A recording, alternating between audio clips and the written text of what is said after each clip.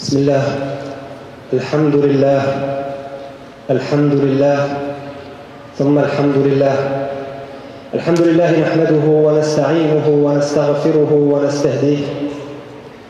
ونعوذ بالله من شرور أنفسنا ومن سيئات أعمالنا. من يهده الله فلا مضل له. ومن يضلل فلن تجد له وليا مرشدا. وأشهد أن لا إله إلا الله وحده لا شريك له وأشهد أن محمدا عبده ورسوله. أما بعد إخوتي في الله أخواتي في الله فإن أصدق الحديث كتاب الله وخير الهدي هدي محمد صلى الله عليه وسلم وشر الأمور محدثاتها وكل محدثة بدعة وكل بدعة ضلالة وكل ضلالة في النار ثم أما بعد My dear brothers and sisters one of the problems that we Muslims are facing is not actually learning is not practice the problem is actually that we are not practicing what we are learning we come to the Friday Salah every week. And we learn something every week, sometimes every day. But the problem, we are not taking it into actions. What we are learning is not affecting our lives. What we are learning is not making us closer to Allah subhanahu wa ta'ala, illa rahimallah. And this is a very serious issue putting what we learn into actions is something very, very important. In fact, the Prophet ﷺ, in a hadith, he described what happened to those who do not practice what they know. He described the conversation, but this conversation is not in, didn't take place in a living room or in the street or in the masjid. It's taking place in the hellfire Or I should say, will take place in the hellfire. The Prophet ﷺ told us about a man that the people of the hellfire will see and will recognize. And he's being tortured. قال صلى الله عليه وسلم يدور في النار كما يدور العير the type of torture that this person is having that he's circulating in the hellfire. and his intestines, his stomach, is down in the hellfire. People will recognize him, will came to him and will say, is that you? He said, yes.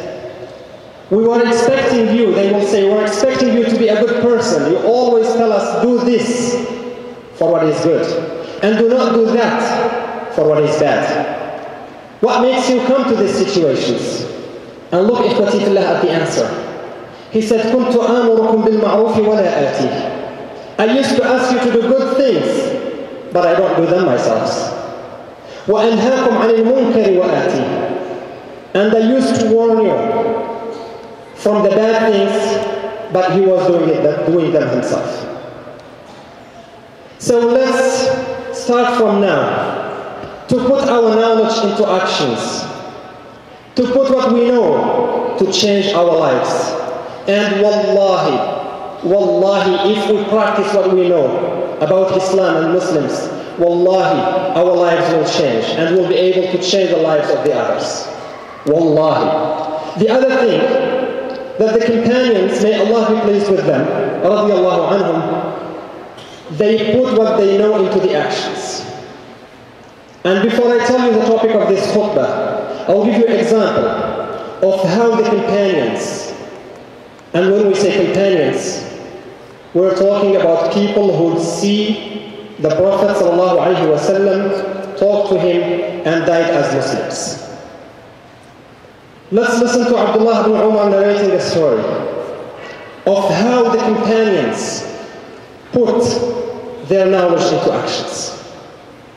الحديث ذكره الحاكم في مستدركه على شرط الصحيحين شرط الصحيحين والبيهقي في مسنده والبزار والبزار في سننه والبيهقي في في سننه Abdullah ibn Umar said before I get to the hadith people in the Medina life in the Medina was not like the way we are living now sometimes they stayed three four five days not having one single meal our leader صلى الله عليه وسلم كما في صحيح في حديث البخاري أنه صلى الله عليه وسلم he stayed three days without eating anything except dates and water. That's all what they can find. And that Rasulullah صلى الله عليه وسلم. But this did not make the companions or the Prophet صلى الله عليه وسلم not caring about the others. Abdullah ibn Umar said, in one of those years, when it was very, very tough for the Muslims, some of them were very hungry, starving. They can't find enough food to eat. One person came and he brought a piece of meat. Just a single piece of meat to one of the families. That person who got, who got the piece of the meat was hungry. His family were hungry as well. But he had this concept of caring about the others. The thing that we really should have, caring about the other Muslims. And he told the person, you know what? My neighbor's in need of it more than I. Can you please take it to the neighbors? Not because he doesn't need it, but because he thinks they might need it more. The person took it to the second house. Again, the same response. I think my neighbors need it more. Take it to the neighbors. And so on, until that piece of meat turned around all the way to make it back to the first person. That explained to you the situation of the Ummah back then. How they care about the others. He's not thinking about himself, he's thinking about his neighbor. But the neighbor as well is thinking about the others. إخوتي في الله. The topic, as you may figure out, is about how to be concerned about the others. Is about brotherhood. How do we implement brotherhood in our lives? Yes, we heard about it a lot, but we don't see it a lot. The Quran, Allah subhanahu wa ta'ala emphasized on the brotherhood in the Quran in so many verses. يقول الله سبحانه وتعالى بعد أعوذ بالله من الشيطان الرجيم إنما المؤمنون إخوة Indeed, the believers are brothers. That's how Allah subhanahu wa ta'ala described us. ويقول واعتصموا بحبل الله جميعا ولا تفرقوا واذكروا نعمة الله عليكم إذ كنتم أعداء إذ كنتم أعداء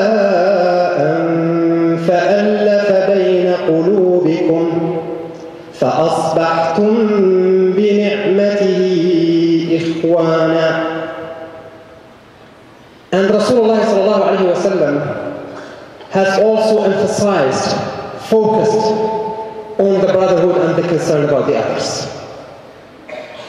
Ikhwati as we speak, some of our brothers and sisters are facing problems. And we are not doing anything to help them. What happened is that those brothers and sisters, they want to have their freedom, the thing that we are enjoying here. They want to be saved from hunger and from tyranny. الذي أطعمهم من جوع وآمنهم من خوف. What can we do to do it? They left their houses and their families to a places where they don't know anyone. Are we really feeling them? Are we really understanding the situation they are going through? If so, if we really understand what's going on, why don't we do something about it? And how do we do it? It's not the first time that a Muslim or Muslims leave their houses for a just cause. We know that the Muslims in Mecca, Al-Muhajirin, They left their houses in Mecca and their families and the places they know, the places they have known all their lives. They left it to be able to say La ilaha illallah Muhammadur Rasulullah. Wallahi, it's a similar situation what's going on now. Wallahi, it's a similar situation. They are leaving their houses and their families. Wallahi, ليعبد الله في الأرض. Now let's see how the people of Medina received those muhajirin and how did it work. Again, another example from Sahih al-Bukhari. We'll take one example. And this example is about one of the companions. His name is Abdul Rahman ibn Auf. Abdul Rahman ibn Auf, like many others, left Mecca and he left everything behind. And he came to Medina. Remember, he didn't know anybody in Medina. Almost nobody. And he doesn't have any money. In fact, no money at all. But the brotherhood, the concern of the Ansar will turn his life into a better life. Let's see that inshallah after Jalsat al-Istiraha. أقول قولي هذا وأستغفر الله العظيم لي ولكم فاستغفروه وادعوا الله موقنين بالإجابة.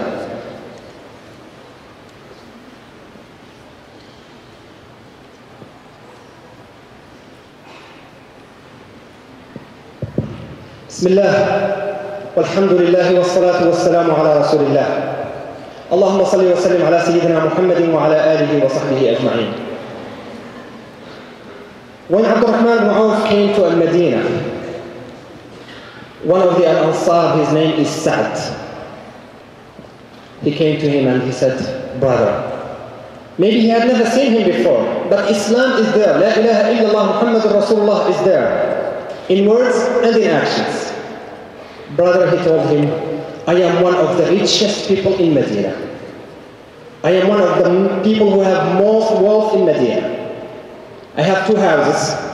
I have such and such and such. And I will divide it between two. 50% I will keep it for myself and 50% for you. Ya subhanallah. He had never seen him before. But the teaching of the Islam are in actions. The teachings of the Prophet ﷺ are being practiced, not only theory, not only something that we learn about and forget about the next day. He is willing to give him half of everything he has, although he had never seen him before, likely. But Abdul Rahman would not take advantage of such situations. He will not say, oh, he's naive, I'll just take his money. No, it was different. He said, Barakallahu laka fi malika wa fi ahlik. May Allah bless you, your wealth and your wealth. But show me what is the market. ولكن دلني على السوق. And here again, the teachings of Islam. He just showed him what is the market. And within a couple years, Abdul Rahman ibn Auf became again one of the richest people.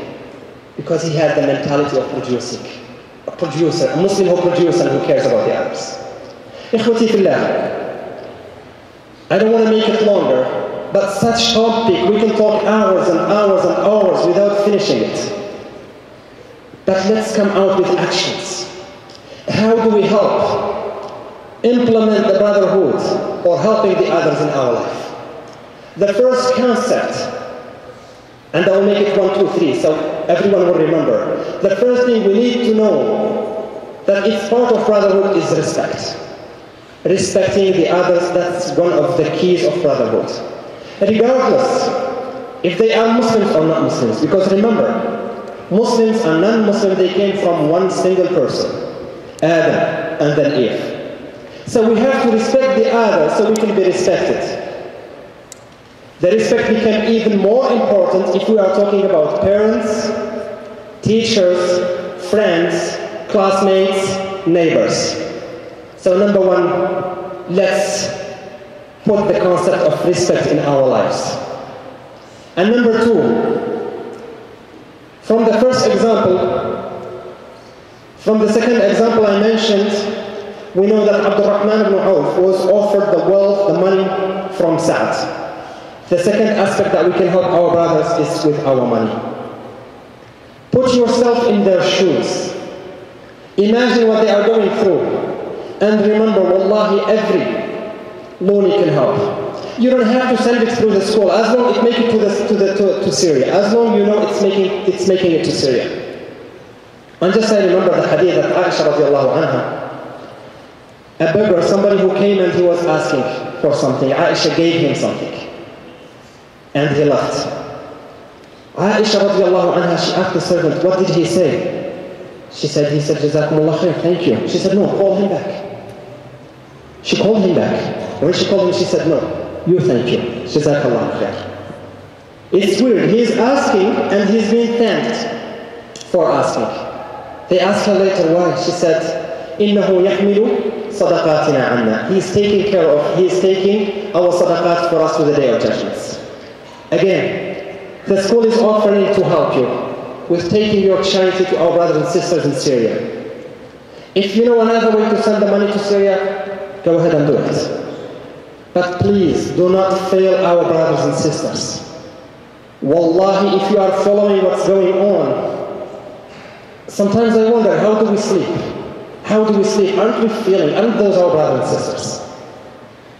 So the, first, the second thing we need to do to implement brotherhood is helping as much as you can. The second thing is by dua. Everything in the hands of Allah subhanahu wa ta'ala. Wallahi, Allah subhanahu wa ta'ala can change everything the least possible times. Make dua to Him. Make dua to Him to make it easy on our brothers and sisters. Make dua at night before Fajr. Make dua with your family. Make dua during the Jumu'ah. At least, وذلك أضعف الإيمان make dua for our brothers and sisters. And concerning this point, I want to mention something for the students so there won't be any confused. If I get their attention, please. The second rak'ah, after we stand up from ruku', we'll make dua before we make sujood. So after standing up from the second rak'ah, for those who can't see us here, we'll make dua before we make sujood. It's called qunut and the Prophet ﷺ used to do it. Wallahi, I don't know what to say. But let's have brotherhood in our life. Let's have it implemented, practiced in any way we can. أقول ما تسمعون وأستغفر الله العظيم لي ولكم فاستغفروه اللهم اهدنا فيمن هديت وتولنا فيمن توليت وبارك لنا فيما أعطيت وقنا واصرف عنا شر ما قضيت إنك تقضي ولا يقضى عليك. قوموا إلى صلاتكم يرحمكم الله. أقيموا الصلاة. الله أكبر الله أكبر. أشهد أن لا إله